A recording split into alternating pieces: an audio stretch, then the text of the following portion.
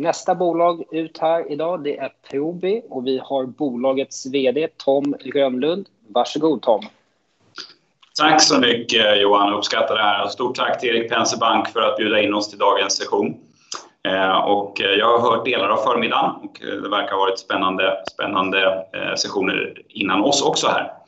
Tom Rönnlund heter jag som sagt, eh, arbetar som VD på Probi AB eh, och har tänkt att presentera vårt bolag eh, lite övergripande och också kommentera lite grann på vår utveckling under det här året.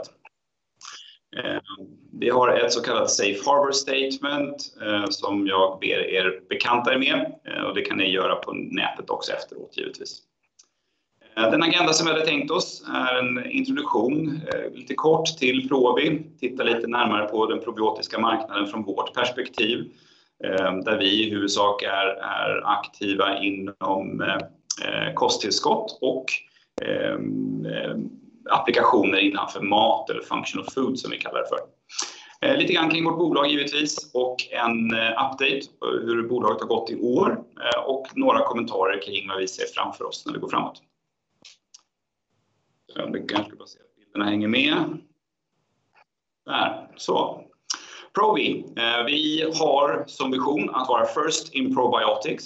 Det bygger på eh, vår eh, närmare 30-åriga historia, där vi som bolag har kontinuerligt forskat intensivt och investerat i forskning och utveckling innanför probiotikafältet.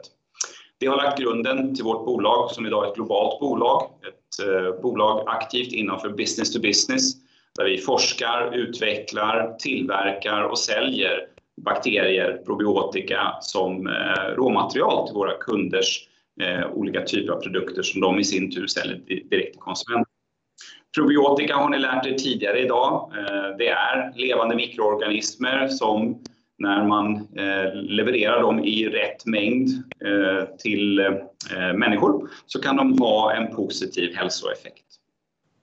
Vårt bolag som sagt har vuxit till en global spelare. Vi är aktiva i ungefär 40 marknader och hade i förra året en försäljning om strax under 630 miljoner kronor. Och Vi är cirka 170 anställda i vår organisation världen över och hade Eh, åtminstone igår en eh, market cap på ungefär 4.5 miljarder kronor. Ska vi se här, det fungerar inte riktigt att byta bild. Så där. Ja, probiotika som sagt, eh, det är ett attraktivt område att vara aktiv inom. Vi som bolag ser att vi kan addera värde till våra kunder och konsumenter världen över genom att leverera högkvalitativa probiotika med vetenskapligt validerade effekter. Effekten av probiotika har, som ni känner till, blivit studerade i eh, flera decennier eh, med mycket forskning initierad under 80-talet och sen har varit ett växande område under ända sedan dess egentligen. Avseende studierna och teknologiutvecklingen som har möjliggjort mer detaljerad förståelse kring hur bakterierna i vår kropp också påverkar vår övergripande hälsa innanför olika områden. I det här fältet så är vi en av de ledande aktörerna och driver den här eh, forskningen framåt som bolag. Eh, det finns ett växande behov och efterfrågan på probiotika världen över. Eh, det finns en stark konsumentdriven efterfrågan som grundar sig i en ökad förståelse för hur probiotika kan ge positiva hälsoeffekter till den enskilda konsumenten. Eh, det finns också en, givetvis är detta också understött utav den eh, utökade forskningen som finns innanför området under de senaste decennierna. Men Det finns också ett stort eh, intresse hos konsumenterna i sig själva kring egenvård och egenhälsa, vilka positiva faktorer som påverkar probiotikamarknaden. På den här bilden så ser ni lite grann kring den tillväxt som har varit. Sedan 2013 fram till 2019 så växte den globala probiotiska marknaden räknat i konsumentpriser från någonstans kring 38 miljoner, eh, förlåt mig, 38 miljarder eh, US dollar till omkring 46 miljarder US dollar. Probi är i huvudsak verksamt innanför området som är eh, supplements, indikerat som supplements här, som är orange i de här cirklarna och där har det varit en tillväxt, en, en eh, compounded annual growth rate under den här perioden på omkring 8 eh, vilket har lett till att supplementmarknaden på global nivå omsätter ungefär 6 miljarder US-dollar i konsumentpriser. Det finns ett antal globala trender som driver en fortsatt positiv utveckling på probiotikamarknaden som stimulerar en fortsatt eh, efterfrågan från konsumenter av probiotika och probiotiska lösningar. Ett område har jag redan kommenterat lite grann på, det är den vetenskapliga utvecklingen där eh, fler och bättre studier kombinerat med en eh, teknologisk utveckling avseende möjligheten att kartlägga generna innanför, hos bakterierna också Eh, eller sekvensering på gennivå eh, av bakterierna har öppnat upp dörrar för att förstå mer kring hur viktigt eh, probiotika är för människan och vilka områden som kan påverkas positivt avseende hälsoområden som kan påverkas positivt genom intag av probiotika. Vi räknar med att eh, jorden om ett antal år kommer att ha omkring 10 miljarder invånare, en växande befolkning och en åldrande befolkning.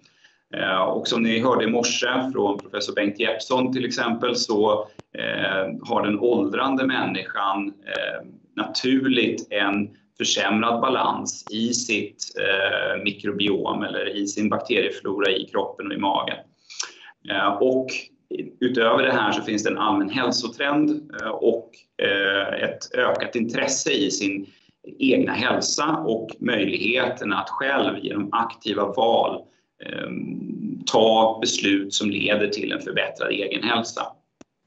Detta kombinerat också med en, en, en, en eh, ett växande välstånd och, och eh, fler människor med tillgång till medel att spendera på sin egen hälsa är också faktorer som driver en positiv utveckling innanför det probiotiska, eller den probiotiska marknaden. Vi har också e-handel som är starkt växande innanför vårt segment. Vi kan nå nya kundgrupper, vi kan nå nya konsumenter Eh, genom att inte enbart finnas i eh, detaljhandelsledet och där eh, där den probiotiska marknaden fortfarande är relativt omogen innanför det här området med kanske en andel på någonstans kring 25-30 procent av de probiotiska produkterna som säljs idag avseende kosttillskott går via, via e-handel. Så det finns en god fortsatt tillväxtpotential där. De här faktorerna sammantaget leder till att Eh, den probiotiska marknaden fortsätter vara en attraktiv marknad att vara verksam på. Eh, där man räknar med att eh, under de närmaste 4-5 åren att marknaden ska växa på global nivå med någonstans kring 4 De här uppgifterna är från förra året, eller sent förra året, och givet covid-19 pandemin så kan det vara som så att de här siffrorna kommer att revideras framöver lite grann, men det är fortfarande lite svårt Eh, och eh, ha ett, eh, ett definitivt avgörande på det i dagens ganska osäkra läge mot bakgrund av covid-19 pandemin. Avseende de marknader där Probi är aktivt, vi har huvudsak verksamhet innanför vad vi kallar våra regioner. Den ena är Americas inklusive USA. Den andra är EMEA som framförallt i vårt fall utgörs i huvudsak av Europa. Förlåt. Samt APAC som är Asien inklusive Kina. Det är lite olika dynamik i de här marknaderna. Eh, den amerikanska marknaden är eh, en utav, eller ja, är världens största probiotikamarknad med en hög penetration av både eh, vitaminer och mineraler och andra kosttillskott inklusive probiotika i de amerikanska hushållen. Det finns en lång och stark tradition av att använda den här typen av produkter för att förbättra sin egen hälsa. Och eh, därmed så har den amerikanska marknaden under en lång tid varit en drivande motor för den utvecklingen på den på den eh, globala probiotikamarknaden. Under covid-19 pandemin så har vi sett, åtminstone temporärt, en ökad efterfrågan på eh, probiotika, specifikt sådana som har positiva effekter på eh, immunförsvaret eh, drivet utav pandemin. EMEA, en stor probiotisk marknad med lite annorlunda regulatoriskt eh, klimat och inte ett särskilt samordnat regulatoriskt klimat för vad man får säga kring probiotika eh, och vilka regler som reglerar eh, försäljning och marknadsföring av probiotika. Samtidigt, det är en attraktiv marknad. Det finns en hög mogenhetsgrad, framför allt i några länder såsom Italien, Spanien delvis också, Eh, där eh, och Frankrike, där probiotika är eh, ett växande segment med goda marknadsförutsättningar. I Asien, Kina som är den drivande motorn där, delvis givet av sin storlek, men också genom en ökad acceptans och förståelse för probiotika i konsumentledet just på den marknaden, vilket ger positiva marknadsförutsättningar för fortsatt tillväxt på den kinesiska marknaden och också utgör ett attraktivt eh, land för Probi att vara aktivt i. Om vi vänder oss lite kort till vårt bolag eh, och tittar lite närmare på det. Förlåt, det går lite fort där. Eh, vi betraktar oss som probiotiska pionjärer. Grunderna till vårt bolag lades vid forskning eller lades utav forskning vid Lunds universitet eh, under eh, mitten och sent 80-tal. Bolaget bildades 1991 och grundades ursprungligen av en grupp av forskare eh, från Lunds universitet, varav Bengt Jeppsson, som ni hörde tidigare i dag, är en utav dem. Probi har sedan dess haft en hög ambition kring om att driva detta fält från ett vetenskapligt perspektiv, Eh, backa upp våra probiotiska koncept med klinisk forskning av högsta eh, vetenskapliga kvalitet med eh, dubbelblinda, randomiserade, kontrollerade, eller förlåt mig, dubbelblinda placebokontrollerade randomiserade studier för att säkerställa att de produkterna som vi utvecklar och tar fram och säljer har den avsedda hälsoeffekten hos Eh, konsumenterna i sista hand eller ytterst hos konsumenterna. Det är eh, faktorer som fortsätter att göra Probi till en mycket attraktiv partner på den eh, probiotiska marknaden. Vi har fler än 100 kliniska prövningar genomförda på våra probiotiska koncept och på våra probiotiska stammar. Vi har också fler än, ja nästan 300 kliniska publika, eller förlåt mig, vetenskapliga publikationer Eh, baserat på den här informationen som finns. Vi har också fler än 400 patent registrerade och godkända. Eh, ja, vårt bolag historiskt sett, man kan se som sagt, eh, datera sig bak till slutet på 80-talet, grundades 1991 och vi firar därmed 30 år nästa år. Vi har genomgått flera stora utvecklingssteg under den här perioden och Där eh, nu på senaste tid kanske mest bemärkansvärt är att vi 2016 förvärvade ett eh, tillverkande bolag i USA, vilket skapade, gjorde det Probi som vi är i dag genom att ge oss egna tillverkningsmöjligheter, både avseende fermentering, det vill säga tillväxt av bakterier, men också av eh, möjligheten att tillverka färdiga produkter, det vill säga kapslar, tabletter, pulver och eh, paketera detta för våra kunder så att de kan vända sig till en eh, probiotikaproducent som kan tillfredsställa olika delar utav deras behov, eh, oavsett vilket steg i värdekedjan de önskar utnyttja hos vårt bolag då. På de senaste åren också har vi lanserat nya innovativa, spännande koncept innanför probiotika, där vi till exempel har Eh, Probi Ferrosorb som är ett eh, probiotiskt koncept för eh, förbättrat järnupptag hos primärt kvinnor som i vissa perioder av livet kan ha behov av järntillskott. Vår senaste större innovation innanför fältet är att vi som första bolag kom ut på marknaden med ett probiotiskt koncept avseende stärkt benhälsa hos postmenopausala kvinnor som vi satte på marknaden under förra året eller 2019. Som eh, probiotiskt bolag så är vi verksamt innanför olika segment. Som sagt, vi har vår egen forskning och utveckling eh, med eh, vetenskapsmän och vetenskapskvinnor som arbetar på att ta fram nya attraktiva probiotiska koncept och fortsätta stärka vetenskapen kring de koncept som vi redan har sedan tidigare. Vi har också eh, i våra produktionsanläggningar möjligheten att tillverka eh, växa bakterier och tillverka färdiga produkter som våra kunder kan, kan eh, ta vidare till sina konsumenter. Vi stöttar också våra kunder med marketing och säljaktiviteter Eh, där vi baserat på vår erfarenhet som en business-to-business-leverantör ger dem möjligheterna att adressera sina kunder på bästa möjliga sätt och skapa en framgångsrik kommersiell eh, eller framgångsrika kommersiella villkor för sina produkter. Eh, Probi, vi arbetar med två olika, i huvudsak två olika typer av probiotiska koncept.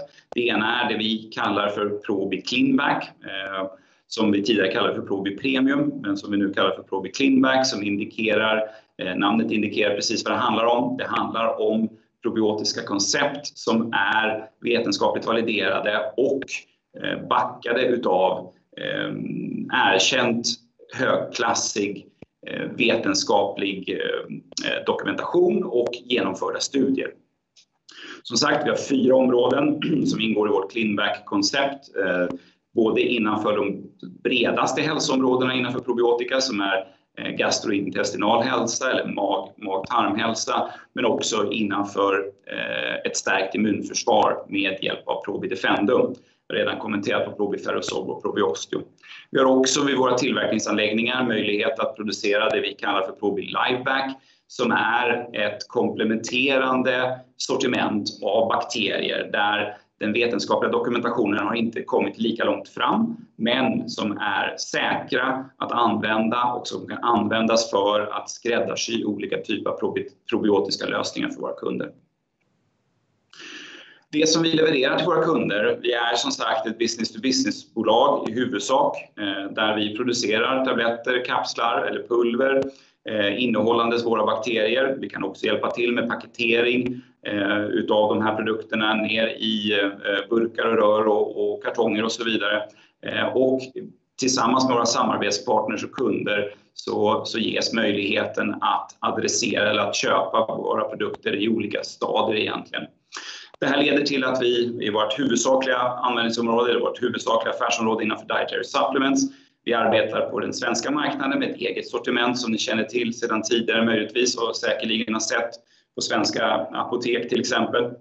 Men Också där vi arbetar med läkemedelsbolag, med hälsovårdsbolag och med olika typer av eh, hälsofokuserade bolag som har eh, probiotiska kosttillskott i sitt sortiment. Förlåt mig. Eh, vi har också verksamhet innanför vad vi kallar för functional food eller mat och dryck. Eh, och Där eh, på svensk nivå kanske mest kända är Proviva som ju återfinns i de flesta svenska dagligvaruhandlar eller dagligvarubutiker, som ju är ett eh, starkt probiotiskt koncept för förbättrad maghälsa primärt och som har funnits på marknaden sedan tidigt 90-tal och har en mycket stark ställning på den svenska marknaden. Vi samarbetar också med internationella partners både i USA och Asien kring olika typer av koncept och produkter som bygger på Probis eh, bakterier i olika typer av matapplikationer. Vi är ett globalt bolag som vi nämnde. Vi har våra tillverkningsanläggningar. Den ena i Redmond, Washington och den andra i Lafayette i Colorado. Eh, och Vi har i Lund vårt huvudkontor och vår forskningsenhet. Och I Singapore så har vi vårt eh, försäljningskontor som täcker den asiatiska marknaden. Som ni ser här så är vår eh, fördelning av försäljningen eh, stark i USA, där vi har eh, över 75 procent av vår totala försäljning, medan EMEA och APAC representerar mindre delar i form av 15% respektive 8 procent. Om vi tittar lite längre tillbaka i tiden och ser på den försäljningsutveckling som bolaget har haft, så hade vi en mycket stark tillväxtfas eh, i perioden fram till 2015, 2016. Under 2016, slutet på 2016, så förvärvade vi eh, det amerikanska tillverkande bolaget som jag nämnde tidigare. Eh, men Under 2017, 2018, 2019 så har vi haft en lite mer sidledes utveckling på grund av olika eh, skäl och orsaker. Eh, men Vi har i 2020 fått en eh, positiv tillväxt i vårt bolag igen. Även fast stapeln här indikerar ju de första nio månaderna av 2020. där vi rapporterade i slutet av september våra, vår försäljning för, för den första nio månadsperioden då, som uppgick till 532 miljoner kronor och som eh, representerar en tillväxt om hela 16% så här långt in i året. Eh, om vi ser lite närmare på våra första nio månader då kring bolaget så har vi haft en stark utveckling in i 2020 som jag sa. Eh, det börjar närma sig slutet. Trots den pågående pandemin som självklart, som för oss och som för andra företag och individer och samhällen har satt en hel del käppar i hjulen det här året, så har vi haft en relativt sett eh, begränsad påverkan av covid-pandemin på eh, våra affärer i det här året. Det har varit mycket fokus på att säkerställa att våra eh, produktionsanläggningar kan hålla sig öppna och operationella under den här perioden och givetvis också både våra anställdas alltså och våra partners hälsa och säkerhet i det här sammanhanget. Men så här långt, vi har en del finansiella effekter av Eh, covid-19, men det har kompenserats ehm, eh, utav andra områden som har ehm, haft en starkare utveckling. Så Sammantaget relativt sett begränsade effekter på Probi så här långt utav covid-19-pandemin. Som jag nämnde tidigare, vi har haft en tillväxt, eh, försäljningstillväxt om 16% för årets första nio månader och vi har levererat en stabil vinstmarginal om 28% på EBITDA-nivå. Eh, regionalt så har vi haft lite olika dynamik. Jag återkommer till det alldeles strax. Eh, men vi har också varit väldigt aktiva det här året i att både uppgradera och förbättra vår fabrik eller en av våra fabriker i USA för stärkt konkurrenskraft och för långsiktigt förbättrade bruttomarginaler för våra produkter. Vi har också initierat ett flertal spännande samarbeten med partners, nya kunder, som eh, ger oss tilltro inför framtiden på fortsatt tillväxt.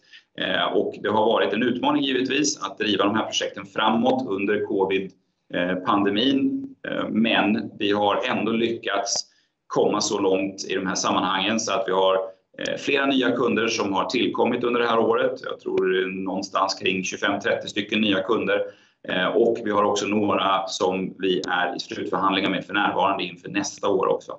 Så Vi känner att vi har en bra pipeline inför framtiden eh, och ser ett bra momentum i vår produktportfölj, eh, vilket fyller oss med tilltro om att vi ska kunna fortsätta vara ett tillväxtbolag. Vi har också uppdaterat våra finansiella mål. Jag återkommer till det inom kort och eh, vi har sedan rekryteringen av en ny chef för vår forskning och utvecklingsenhet också ett komplett management team.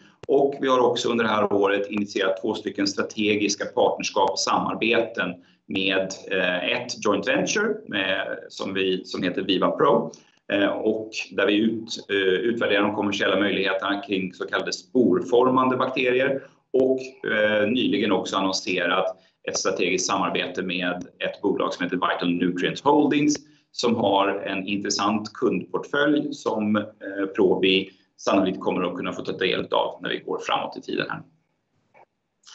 Eh, vi presenterade nyligen vårt tredje kvartal, eh, men låt oss fokusera lite grann på eh, år till dato. Jag har väl redan nämnt det visserligen, men vi har haft en stark försäljningsutveckling. Tredje kvartalet isolerat var väldigt starkt. Vi hade visserligen en relativt sett mild eller sämre jämförelseperiod i förra året. Men det är klart att vi är stolta över en försäljningstillväxt om 38% i det sammanhanget. Vi hade också en engångseffekt om ungefär 15 miljoner kronor i kvartalet som var eh, föranlett utav eh, en av våra större kunder som la om sitt produktsortiment eh, som vi var involverade i, vilket innebar att de under en period beställde en smula mer än vad de normalt sett skulle göra. Och Lönsamheten som sagt i tredje kvartalet så låg vi över vår lönsamhetsnivå för de första nio månaderna och det förklaras delvis utav Ehm, att vi i första kvartalet hade en produktionsstörning som gjorde att vi eh, fick lite sämre marginaler i det kvartalet. Våra långsiktiga finansiella mål avser att eh, växa vår försäljning med eh, mer än 7% på årlig basis och där vår målsättning för EBITDA, vårt lönsamhetsmått, är satt till att leverera minst 29% i EBITDA. Eh, Avseende den regionala dynamiken som jag nämnde tidigare, vi är starkt eh, förankrade i USA. Vi har haft en stark tillväxt där i år, så här långt in i året med 20% upp jämfört med föregående år. Där å andra sidan EMEA då har utvecklats lite, lite mer, eh, eller ja, sämre helt enkelt. Har tyvärr sjunkit tillbaka lite grann. En del av det förklaras av en, en reklassifikation av revenues eller av, av, intäkter samt också en viss förflyttning av några intäkter över till USA. Men underliggande tillväxt på de befintliga kontona i Europa och i EMEA eh, ser eh, positivt ut och vi är, är positivt inställda till att kunna driva framtida tillväxt där. APAC upp 13% Vi hade högre ambitioner än så i det här året. Men eh, både EMEA och Asien, APAC, har eh, blivit påverkade av covid-19-pandemin. Eh, delvis på grund av att försäljningsmodellerna för våra kunder ser lite annorlunda ut jämfört med hur de gör i USA och där, där eh, nedstängningarna av samhällen både i Europa och i Asien har lett till en dämpad efterfrågan eh, Eh, under en period under det här året. Nu får vi självklart se vad den här andra vågen kommer att resultera i, men eh, vi ser, har i alla fall initialt sett positiva tecken på att eh, förhoppningsvis kan efterfrågan återkomma och att vi kan återgå till växt också i de regionerna. Självklart är det svårt, eh, som jag tidigare nämnt också, att eh, exakt förutspå hur den andra vågen av covid-pandemin kommer att slå ut, men eh, grundläggande så ser vi positivt på våra framtida möjligheter i de här bägge regionerna utöver USA. Vi har en stark balansräkning eh, med inga externa lån som bolag. Vi har en välfylld kassa, vilket gör, ger oss både flexibilitet och styrka att kunna gripa tillfällen för eh, både strategiska partnerskap men också eventuella förvärv framöver för att ytterligare stärka vårt bolag. Lite kring vår outlook och fokus gående framåt. Eh, förlåt, det går lite fort där. Eh, våra övergripande mål det är att vara ett tillväxtbolag, att över tid fördubbla storleken på vårt bolag både genom organisk tillväxt i vår portfölj av både eh, kliniskt eller vetenskapligt validerade probiotiska koncept och andra mer skräddarsydda probiotiska produkter för våra kunder. Vi ser tillväxtmöjligheter både i, eh, innanför vår portfölj avseende andelen av, av våra cleanback eh, cleanback-koncept, men också geografiska tillväxtmöjligheter Eh, Eh, runt om i världen, inklusive USA, även fast vi har en stark ställning där. Vi vill fortsätta att vara en, en ledande kraft innanför probiotisk forskning och utveckling.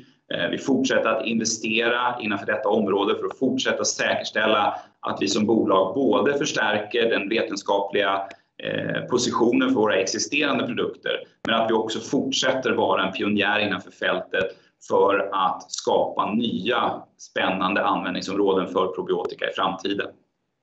Som tillverkande bolag också så har vi tagit steg för att säkerställa att vi har en hög kvalitet och en hög eh, kapacitet innanför vår tillverkning. Eh, och eh, det programmet som vi har implementerat under det här året börjar närma sig sitt slut och vi kommer framöver att arbeta intensivt för att säkerställa att det här också ger positiva effekter avseende våran, eh, våran eh, bruttomarginal samt också stärka våran konkurrenskraft och kunna adressera nya kundsegment genom de här investeringarna. Detta, oj, förlåt, eh, detta sammantaget eh, ger att vi ser väldigt positivt på framtiden. Eh, Probi är ett bolag som har en stark finansiell ställning, ett positivt momentum i marknaden och tillväxtmöjligheter gående framåt. Tackar! Det var det som jag hade tänkt att presentera. Ta gärna frågor och funderingar om det är någon som har det. Perfekt. Stort tack Tom för den presentationen.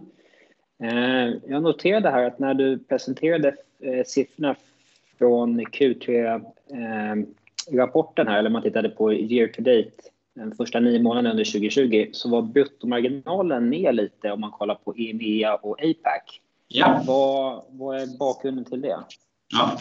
Eh, EMEAs eh, bruttomarginal den har delvis påverkats av den här omklassificeringen av försäljning från royalty till produktförsäljning. Så att där fick vi en något sämre marginal eh, i det sammanhanget, men också delvis då förklarat av överflyttningen av vissa, vissa, eh, viss produktförsäljning till USA.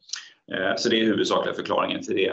Eh, avseende Asien så har vi gjort investeringar i teamet, framförallt från ett backoffice perspektiv med regulatoriska resurser för att kunna supportera vår eh, försäljnings och marknadsorganisation på ett starkare sätt än tidigare. Och det har påverkat bruttomarginalen i, i den regionen. Okay. Härligt. Ehm, jag tänkte på, ni har ju en väldigt gedigen eh, kassa för närvarande. Eh, och jag noterade också att du hade på den här tillväxtsliden att förvärv eh, finns med på er radar.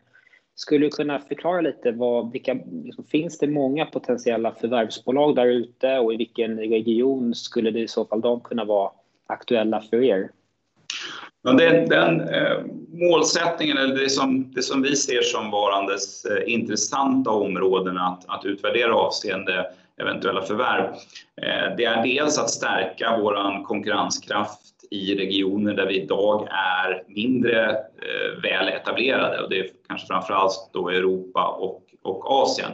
Eh, det innebär inte att vi helt väljer bort USA i det sammanhanget, men, men vi har en relativt stark position i USA så att det ska vara en, en intressant och komplementär eh, verksamhet i sådant fall. Eh, avseende USA. Medan i Europa och Asien så har vi ett lite bredare angrepp, angreppssätt för vi ser att eh, vi har en produktportfölj som kanske inte har fått det genomslaget nu som vi tycker det förtjänar på marknaden. Ett annat område som är intressant för oss är att eh, bredda vår produktportfölj med eh, intressanta antingen forskningsprojekt eller marknadsnära eller produkter som finns på marknaden som skulle kunna komplettera vår portfölj och som också har en, en profil som liknar våran avseende Eh, vetenskaplig bakgrund kring, kring de probiotiska koncepten, då, eller de, de produkterna som, som de bolagen arbetar med. Och ett tredje område det handlar om eh, försäljningskanaler också. Att eh, utvärdera möjligheter för eh, att eh, se hur Probi kan agera i olika typer av marknadskanaler. Ja, spännande. Jag tänkte att man kikar lite på den här eh, covid-pandemin som vi befinner oss i. Skulle du säga att liksom slutkonsumenterna har fått upp ögonen i större utsträckning för de här typen av produkter? Eller är det fortfarande liksom en uppförsbacke att försöka liksom påverka och liksom marknadsföra det här till, till slutkonsumenterna, skulle du säga? Ja, det är lite olika regional dynamik avseende den biten som också hänger ihop med det eh, regulatoriska regelverket på olika marknader. Men eh, vi kan väl säga, jag tror att avseende probiotiska produkter som har en immunförsvarsstärkande effekt, eh, vilket det finns några utav och Probi har ett väl etablerat koncept innanför det området. Det är ju någonting som har ganska, ja, inte alltför svårt insedda omständigheter och haft en, en eh, positiv marknadsutveckling i år. Men vi ser också över bredare delar av vår portfölj Eh, Eh, och det tror vi i alla fall då kanske drivet utav ett ehm, ökat eget fokus på eh, egenvård och egenhälsa i de här tiderna som så domineras utav pandemin eh, och, och allting runt omkring det. Då. Så att ehm, det, det, är inte enbart så att säga, immun, immunprodukter som, som går starkt i det här utan vi kan se det delvis också över hela linjen. Det kan också finnas eh, orsaker till det som att eh, konsumenter som historiskt sett har kanske ja, eh, varit lite slarviga med att ta sina, sina probiotika varje dag, inser, kommer ihåg, oj då, nu inser jag att det här var ju, var ju därför jag skulle äta det här, eh, har blivit bättre på det. Eh, men också att andra nya kunder har sökt olika typer av lösningar för att eh, förbättra sin egen hälsa helt enkelt. Ja, jag förstår. Om man kollar lite i närtid, här, vad, vad, vad, skulle du själv, eh, hur skulle du själv beskriva ditt fokus här i den kommande månader? Är det liksom att pusha försäljningen eller vad, eh, vad är det för något du sysslar med om dagarna? ja, ja, bra. Jag eh, ska säga, dels så handlar det om att säkerställa att våra fabriker fortsätter att vara operationella. Det är väldigt viktigt för oss och Eh, vi har genom den första vågen av covid-pandemin och, och eh, det kommer säkert att vara, fortsätta vara besvärligt under den, den andra pågående vågen. Då. Så det, det, är ett viktigt fokus, säkerställa att vi blir färdiga med vårt eh, fabriksuppgraderingsprogram. Men sen så utöver det så handlar det väldigt mycket om att säkerställa att vi fortsätter att nå ut till våra kunder, identifiera nya kunder under de omständigheter som råder. Det är ju lite svårare idag. Eh, det är vi inte ensamma om som industri att, att, att, att äh, märka av. Att äh, träffa nya kunder, inleda nya samarbeten när de naturliga kontaktytorna för det inte för närvarande är tillgängliga på grund av reserestriktioner, på grund av restriktioner kring att träffas och så vidare. Så att det är aspekter som vi jobbar mycket med för att säkerställa att vi fortsätter att ha en attraktiv pipeline av nya samarbetsprojekt och möjligheter. Sen handlar det också om vår forskning och utveckling. Eh, under det här året så har det varit lite svårt att komma igång med nya forskningsprojekt, nya studier framför allt.